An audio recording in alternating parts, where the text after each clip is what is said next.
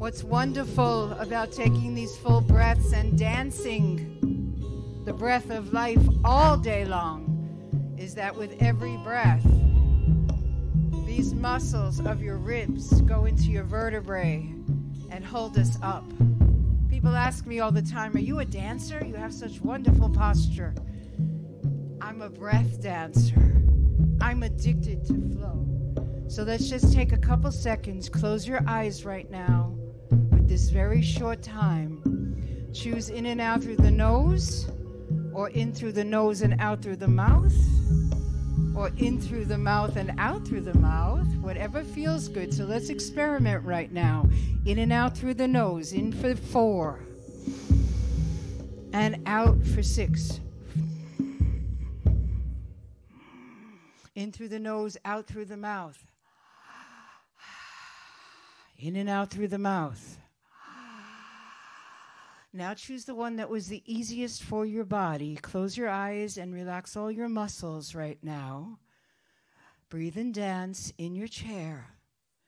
Dance the breath of your life because it is your life and you control it. And let's just take a moment right now and command your body to go into a state of peace, a state of love and just breathe into your own love, into your blood, into your bones, into your core.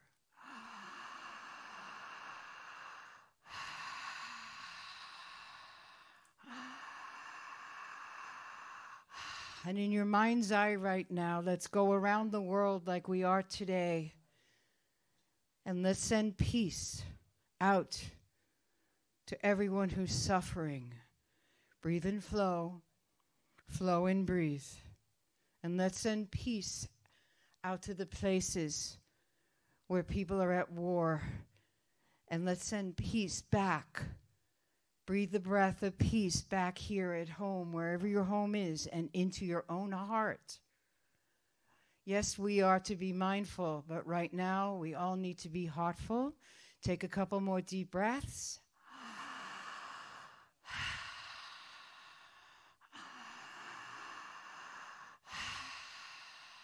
One of the things that heals us when we dance is breath and core enhancement. Please choose this all day long. Increase your levels of peace.